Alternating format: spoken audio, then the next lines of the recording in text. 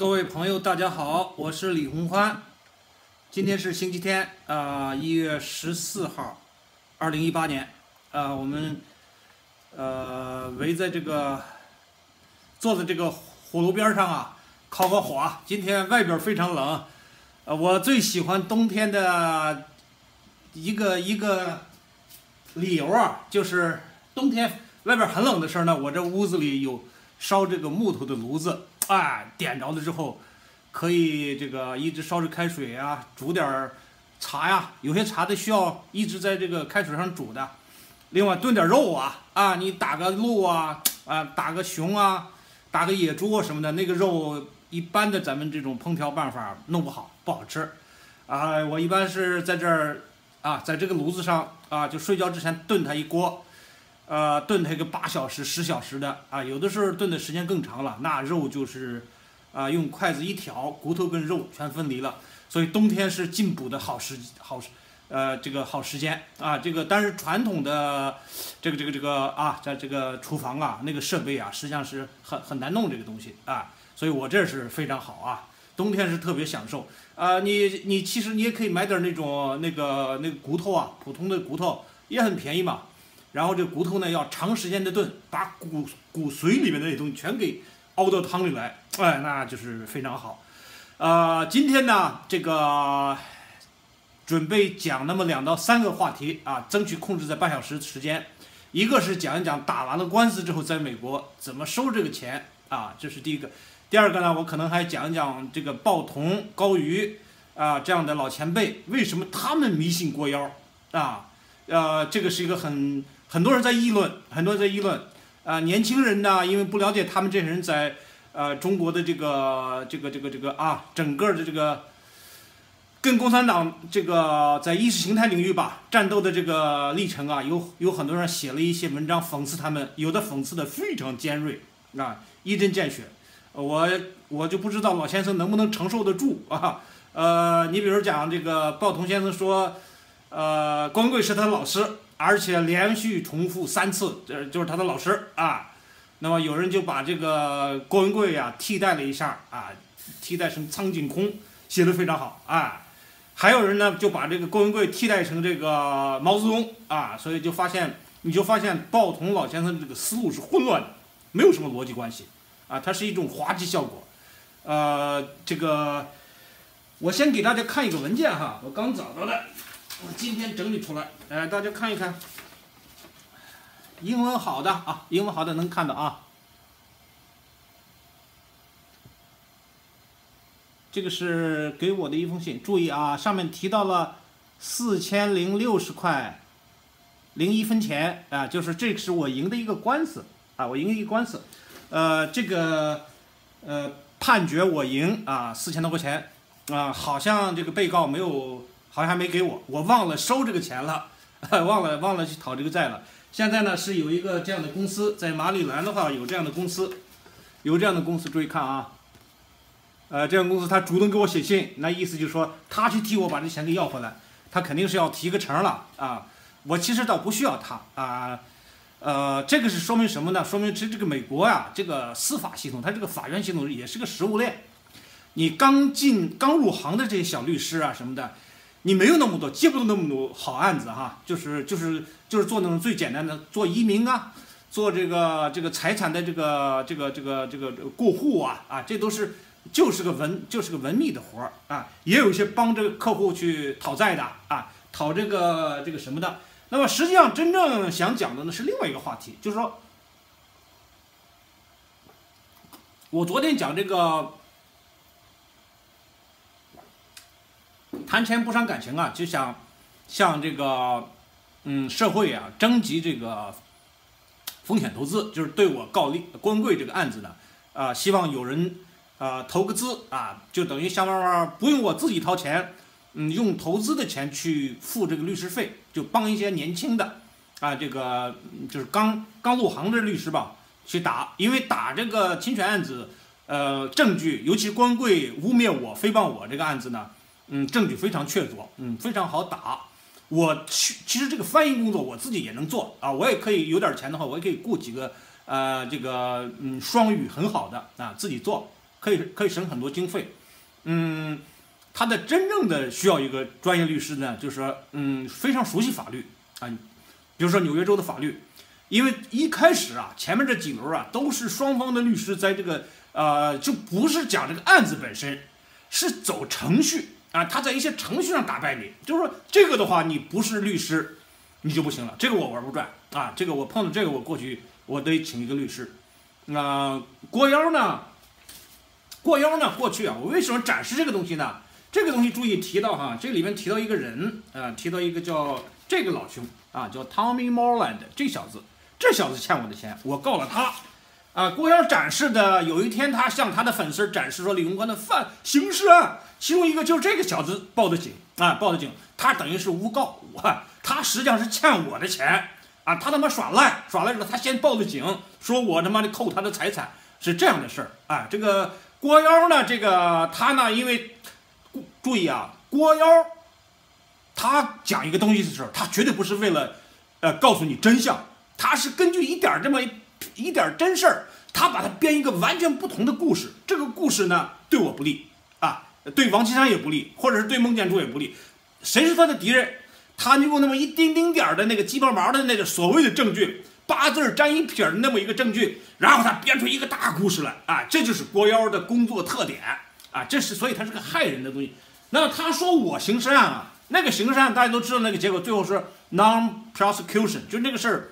等于警方放弃了，因为没有证人，没有证人证明他指控我偷他五百块钱的东西，扯鸡巴蛋的事儿嘛。事实上他欠我四千多块钱的东西，这是法庭审判的结果。后来我告他，我赢了。我告他时候，他也不敢出车，他也不敢露面儿，所以这个我告他的时候，他根本就不露面，那我自动赢嘛，啊，所以这个法庭里啊，你要是有时间的话，在美国，你那个有你你要想学法庭这些这各种各样的斗争的这些嗯窍门什么，你就到法院去去蹲着就是了，法院都是敞开的啊，open to the public，你就在听吧，那故事多得很。每一个故事都是非常曲折的，绝对不是郭文贵三言两语给你给你讲那个东西。所以说，你信郭文贵呢，你的智商就打折了。我们非常遗憾的是，有很多人他真信郭文贵啊啊，尤其国内的一些年轻人啊，他真信郭文贵之后呢，在微信群里啊，认真的传播郭文贵那些谣言性的东西。这个我已经多次说了哈，那尤其是涉及到李永宽的谣言，你千万别转。因为我我已经我已经诅咒了他，任何人啊传播郭文贵啊对于李永宽的造谣，我不仅要诅咒啊郭文贵全家人得癌症死，而且传播谣言的人啊，尤其是有些东西是明显就是谣言啊，你千万别转，转了之后对你不利啊，这个是造孽造孽，你要传播点真正说啊宪政民主有利于啊这个这个这个推动宪政民主啊啊普世价值啊。这个是积德的事儿，你千万别作孽，转那些对李文宽不利的谣言。刚才我讲的啊，郭文贵前两天曾经攻击过我，用我的什么什么刑事案啊啊来那个呃呃，就是所谓晒一晒我的这个这个这个法庭记录啊。他现在怎么着？他现在不做了，他不做我也不会放过他。郭文贵，我诅咒你全家得癌症死，你听见了吗？因为你讲的那什么性病啊，什么十九个刑事犯啊，全是造谣。全是造谣，任何人传播郭文贵的这个谣言，你同样受诅咒啊，同样啊，这个绝对没有好下场，知道吧？啊，所以说一个人呢，你可以缺德啊，你可以违法啊，你可以走后门，这个不遵从法律，但是你心里边啊，你不能做那个明显是错的事儿啊，这就是作孽，这就是。就是这个，你只能说你你得信点东西啊！你这个人在做天在看嘛。所以郭文贵呢，他是超越了这个东西。所以说，我说他是妖啊呀，郭妖啊，他是个妖魔。他明明知道这个东西是坏的，他一定要传播。他明明知道李洪欢跟女人啊没有那个这个阴道填充物这个事儿啊，他偏要说李鸿欢干这个事儿，而且这个口出狂言说李鸿欢跟李云宽的这个这些女人都得了子宫癌。所以郭文贵呢，我想到这儿是了，我得再诅咒你全家，啊，春节期间一定会得癌症死，因为你作孽太深重啊，你作孽太深重，郭文贵，你一定会遭报应啊。我我倒是希望，啊，国内啊受他的这个呃郭文贵的这个谣言啊，这个我相信郭文贵所谓的爆料，他的性质你拿李鸿宽的遭遇就就能就能琢磨出来了，哎，就是他有八字没一撇的东西，他讲一个这个人家这么多私生子偷了那么多钱，全是胡说八道，应该说全是胡说八道。郭文贵到现在倒还说啊，只说我偷了五百块钱，没敢说我偷五百个亿啊。郭文贵，你他妈你给我造大点行不行啊？五百块钱那叫在你这样的江洋大盗的眼里那叫钱吗？五百块钱啊！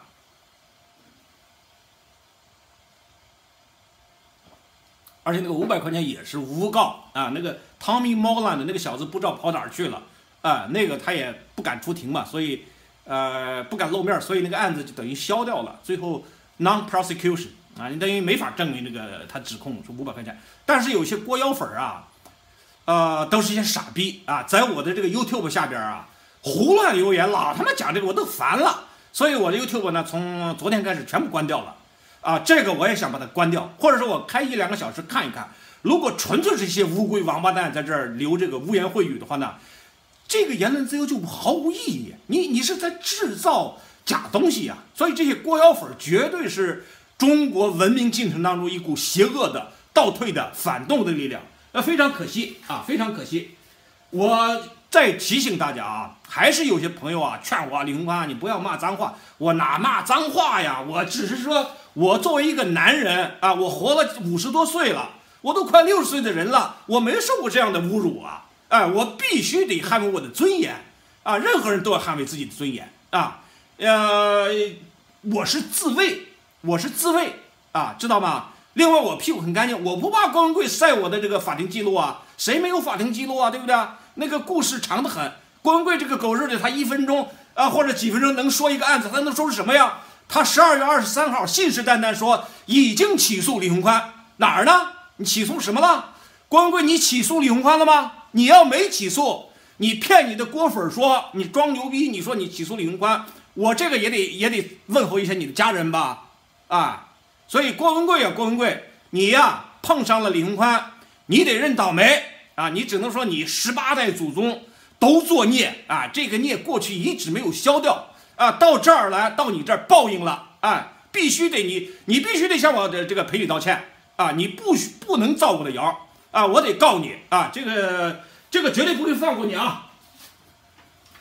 呃，今天啊，中午的时候有一个朋友，我其实不认识他，打电话来，他昨天这个是就想说，昨天就想给我打啊，我没接着啊，今天打电话。哎呀，聊了啊一一一个多小时，他非得说呀，他说这个他看了我有一期的这个视频，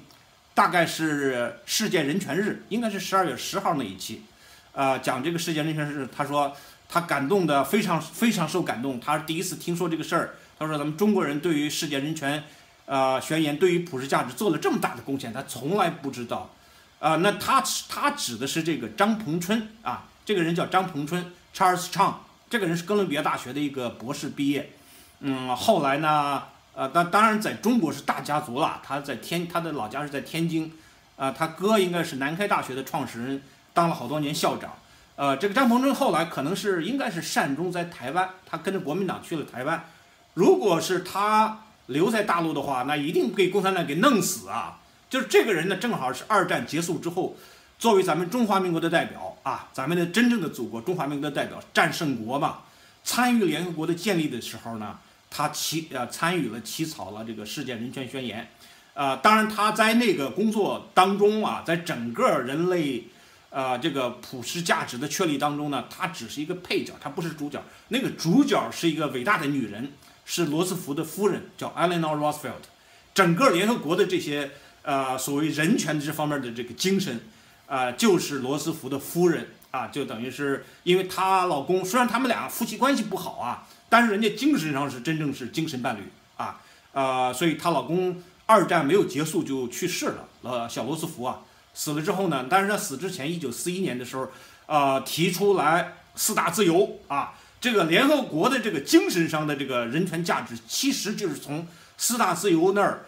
展开的，当然加了很多新的内容啊，所以他被。全世界几乎所有的国家的人民所接受，这就是普世价值。只有中华人民共和国啊，在习近平上台之后，明确抵制啊，明确抵制普世价值，这个是严重倒退了。这个是向全人类的这个主流价值在宣战，这个是非常可耻的。我们中国现在在习近平的领领导下，在价值选择上在开倒车啊，这个是和全人类为敌，这个大家一定要非常清楚。所以说，我们在中国推广普世价值，我们的阻力是非常大，直接来自习近平啊，习近平就是个脑子啊有问题。所以我我呃，我要是跟习近平讲普世价值的话，我讲一年他也听不听不懂。我相信岐山书记啊，王岐山。应该比他啊这个理解力要好得多。我希望王岐山有机会的话，能够在推动普世价值跟中国接轨的过程中做出更大贡献啊！这个不仅仅是你老王家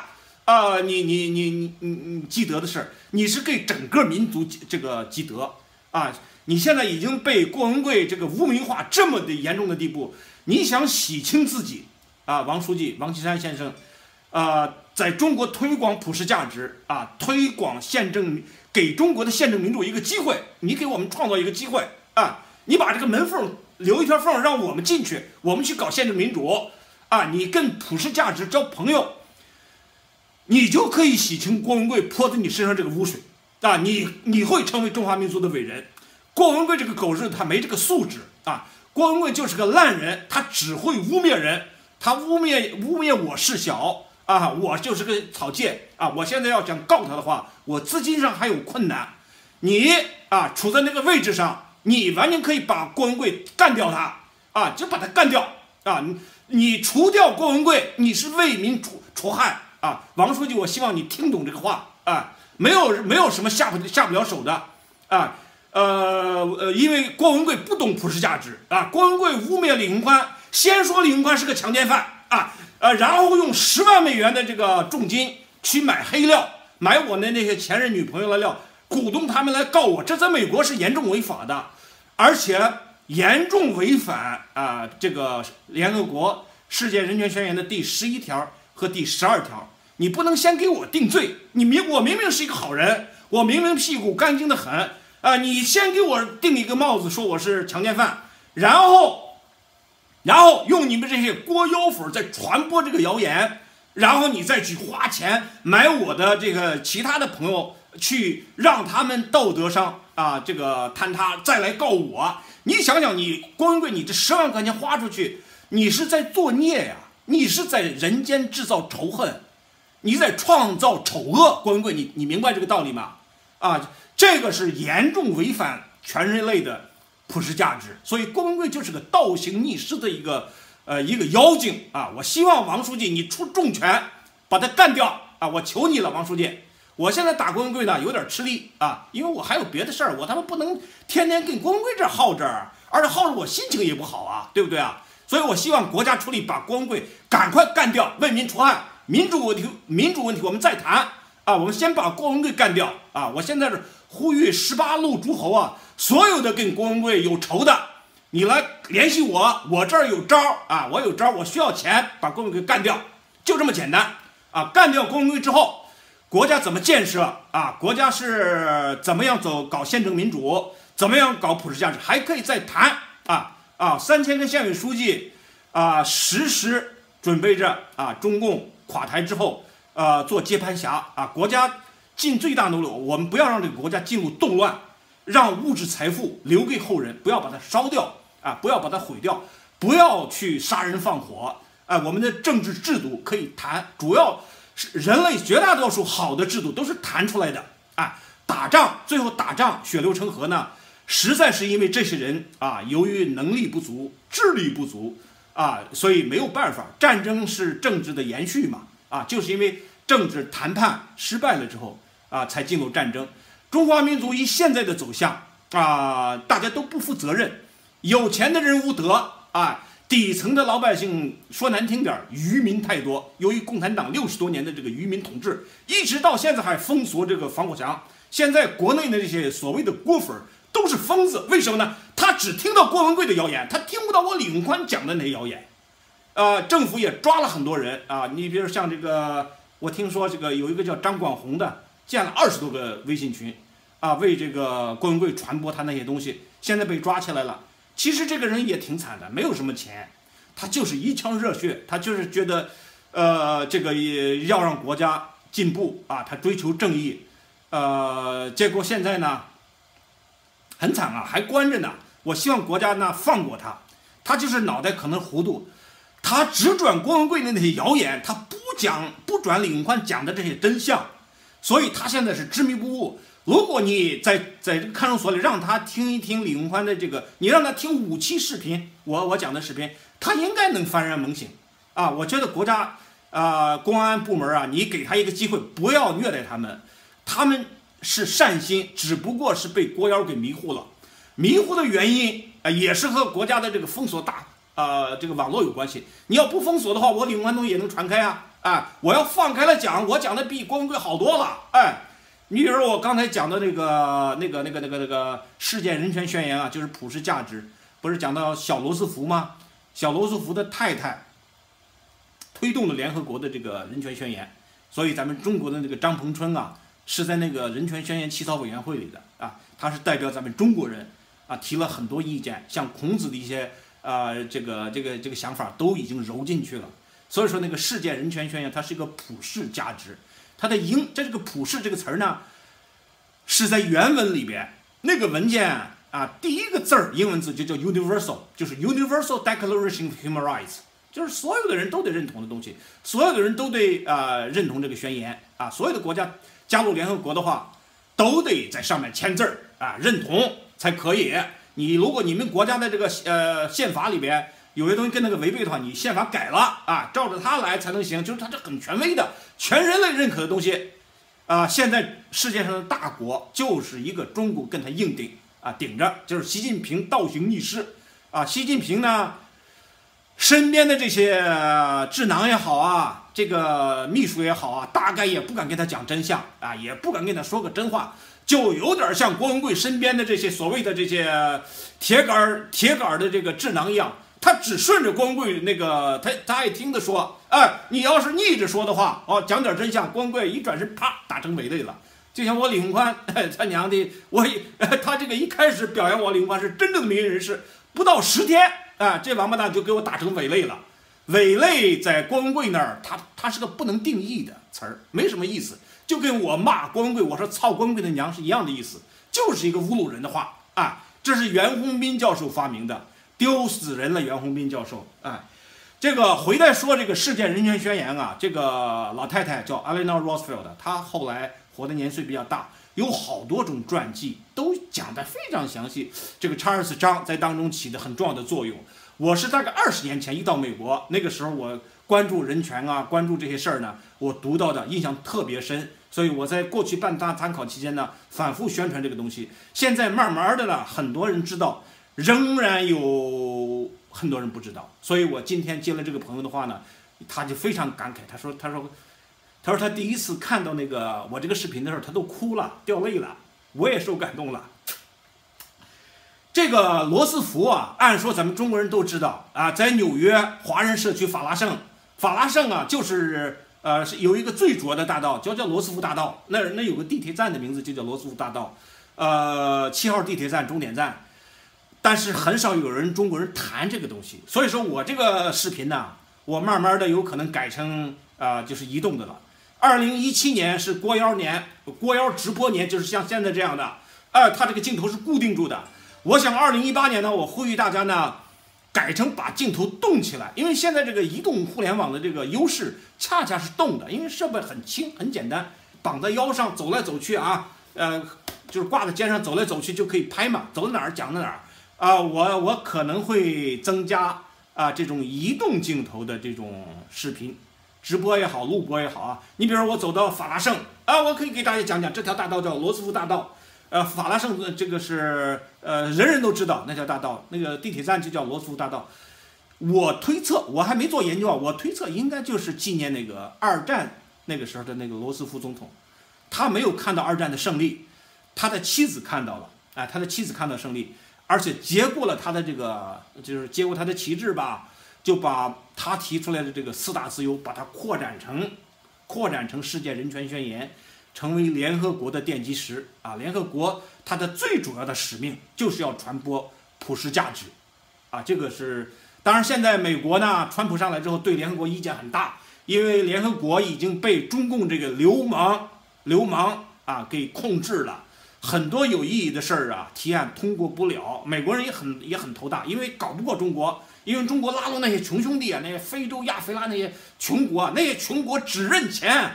不问正义，那些屌国家他妈的对于人权也是，呃就是认同很低啊，这个是咱们人类世界你要说那儿去，这问题就大了，哎，这个就大了。呃，所以中共这个流氓这个国家呢，在联合国里面起了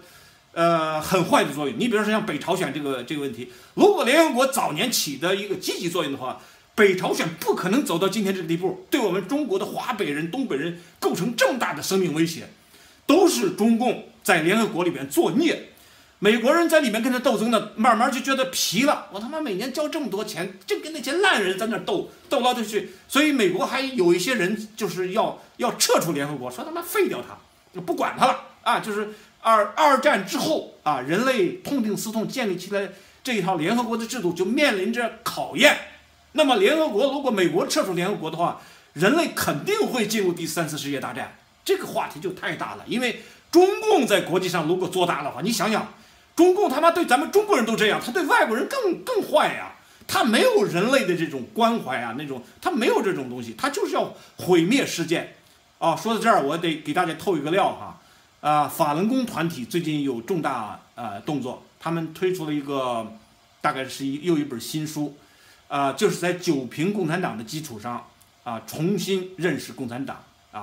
对共产党这个现象做了更深刻的解读啊。啊，这个书已经出来了，我在推特上也公布了，呃，大概是说共产党呢，实际上就是要毁灭世界，呃，这可能是一个重大动向，因为过去法轮功呢，在对中国的报道上啊，他们是一直是批江护习，他认为习有可能把老姜干掉，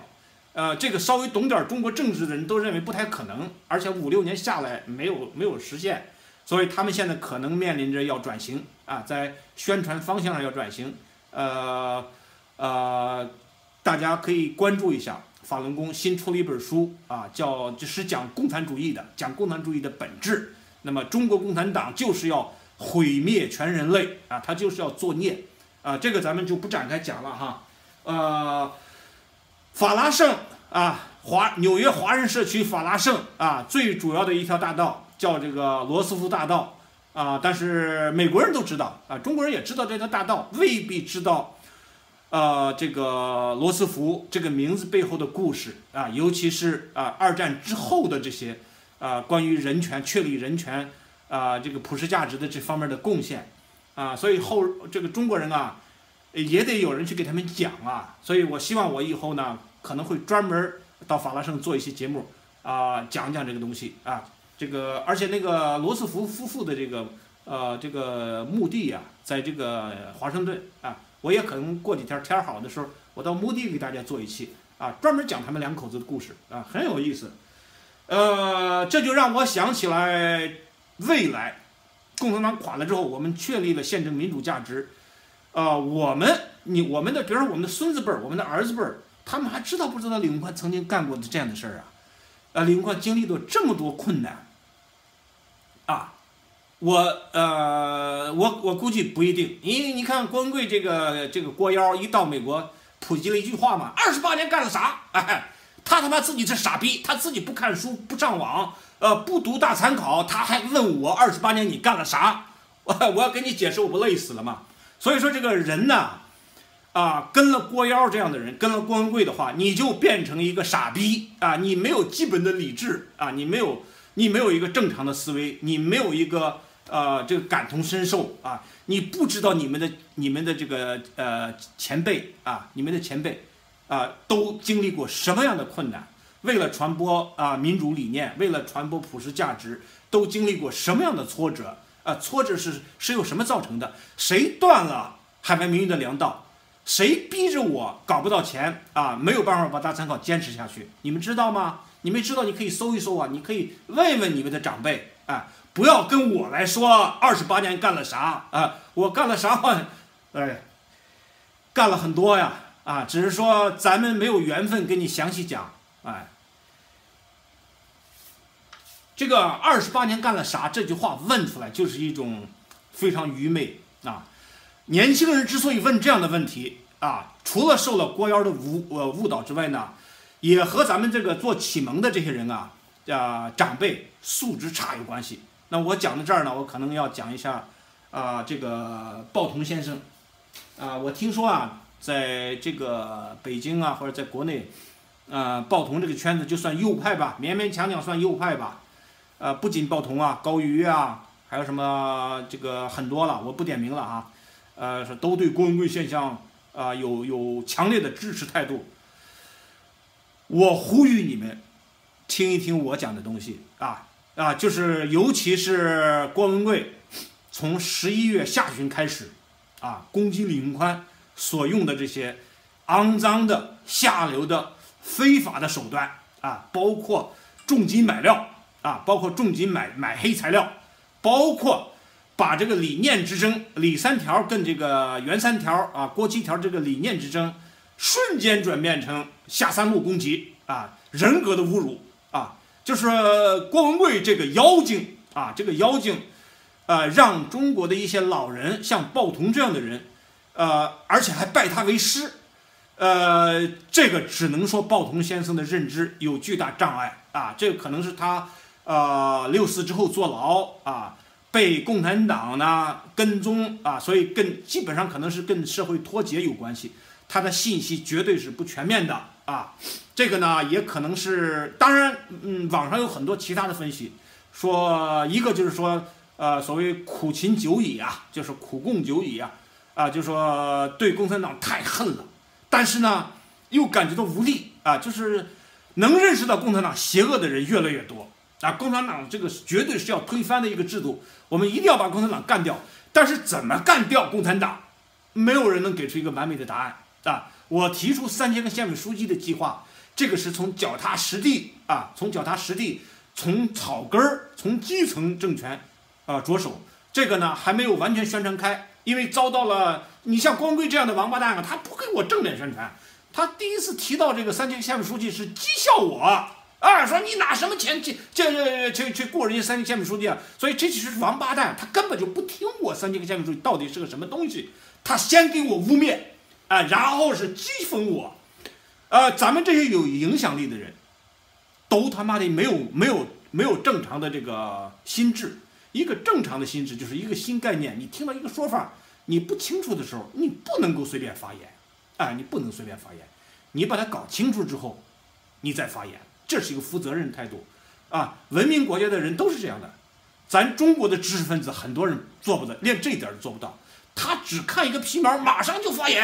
啊，马上来一个 judgment，呃，给你下一个下一个判定。你是诸葛亮呢？哎，你诸葛亮，你有这本事。你要是一般的一个读书人，一个教授，你不能这样啊！你真得花点时间把它搞明白了啊！这个是李，呃，这个李三条到底是什么呀？三级个县委书记是到底想怎么干啊？有没有可能啊？啊？啊，你真得动动脑子啊！你不能像郭文贵那样胡说八道，张口就来啊！这个不负责任是不行。咱们的这些做启蒙的啊，右派也好，毛左就那就更差劲了。毛左那就是完全胡说八道啊！有我我说的近，主要是右派啊，鲍同先生这这样的哈，呃，一定要这个你自己啊，多听听周围人的意见啊，尤其是听听不同的意见。否则的话，你因为你名气很大，影响很多年轻人，你是在误导他们啊！这个是坚决不能这样做啊！所以说这个，呃，一个啊，就是大家着急啊，对于共产党怎么推翻它，没有什么招儿。看到一个郭文贵，就好像一个在沙漠上旅行的一个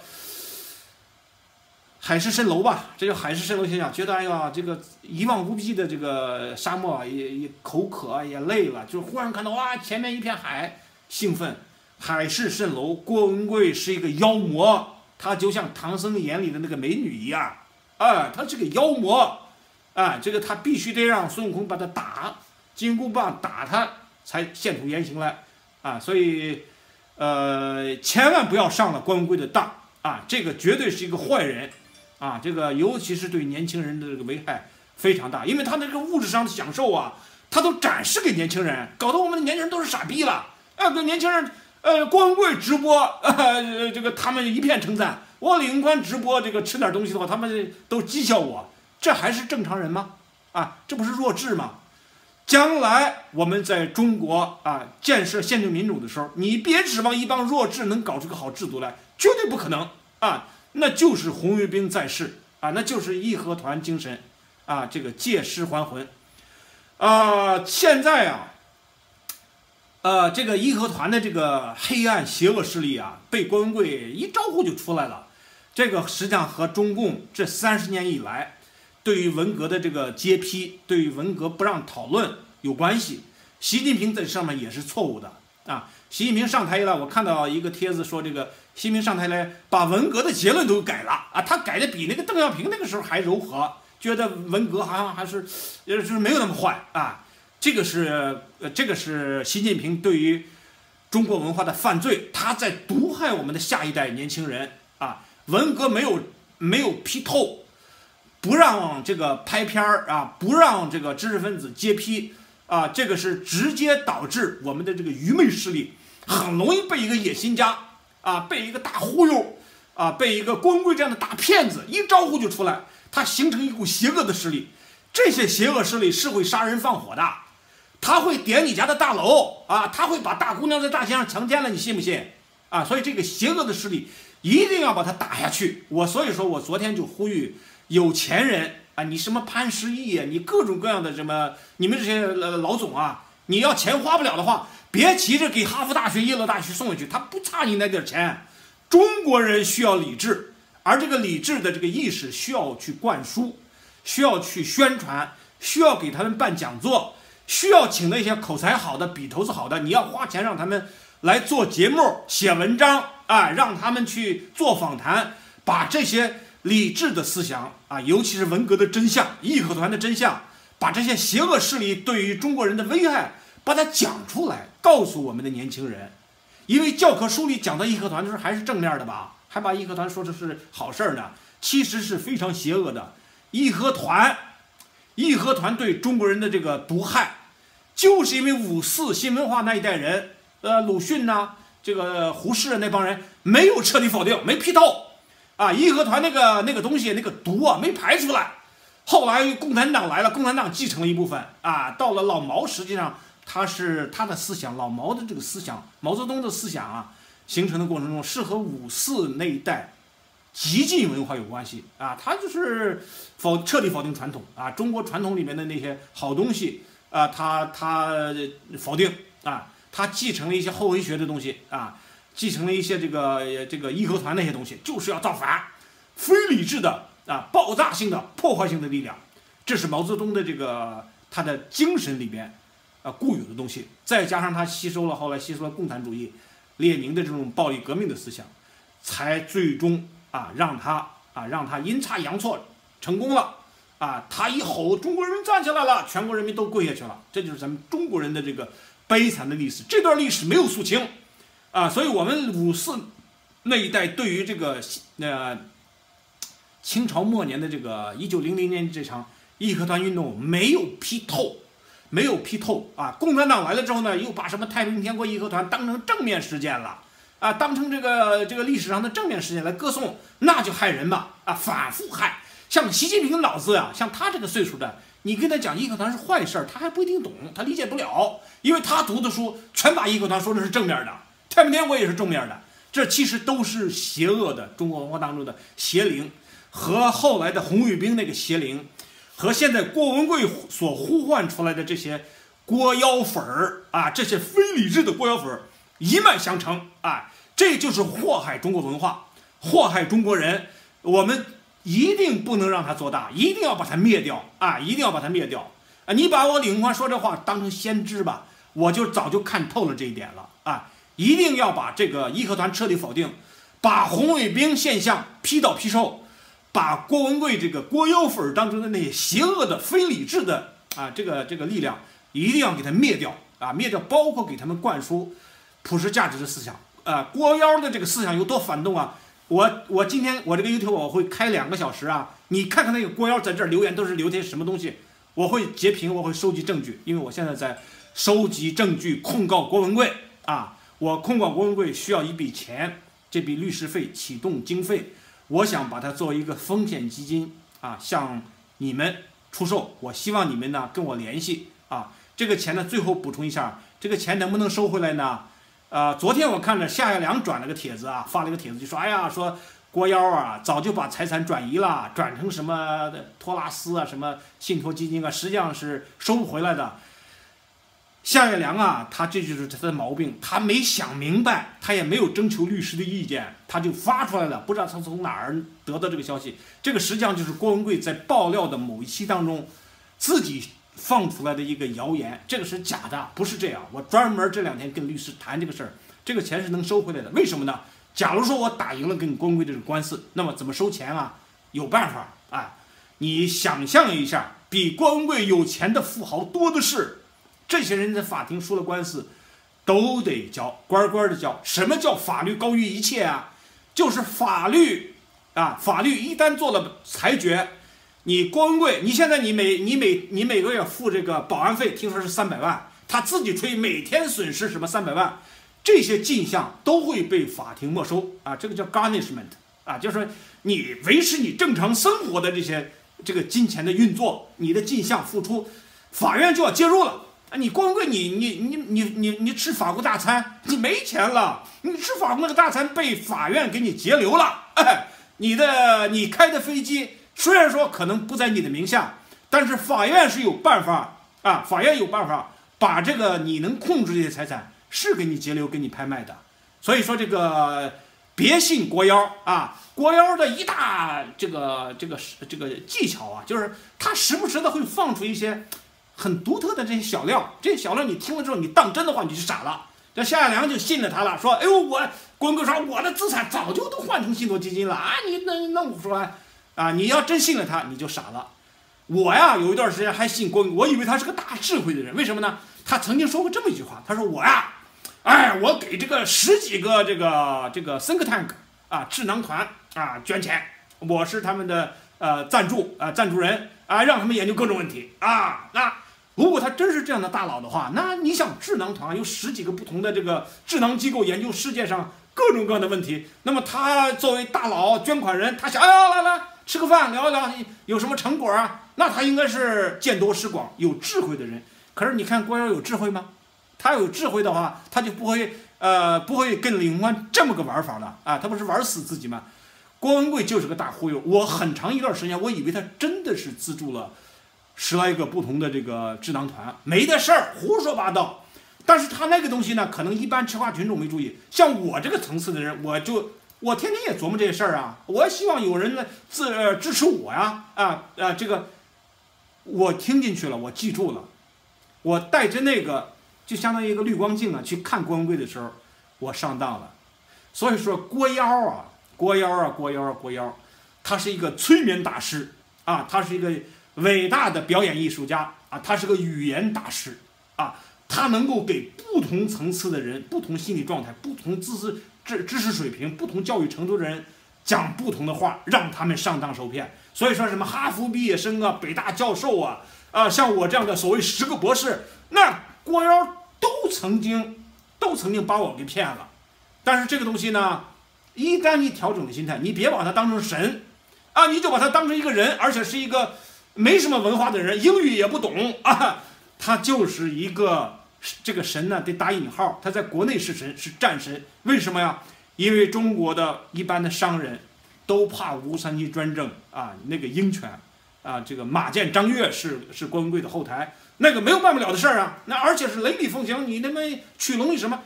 抓起来啊！这个你任何一个大企业家找我捞人，我抓起来是吧？找郭文贵捞人能捞出来。要多少？要一个亿啊！他就这么，人家钱就这么赚来的，那当然是不得了啊，那是不得了，谁也不敢碰他。而而且大家都知道刘志华他他干掉的啊，这个是一种啊光环，他这个光环啊已经确立了之后，大家都认他。但是在美国啊，谁尿他呀？他他妈的小学英语水平都不具备，没人尿他，他就是一个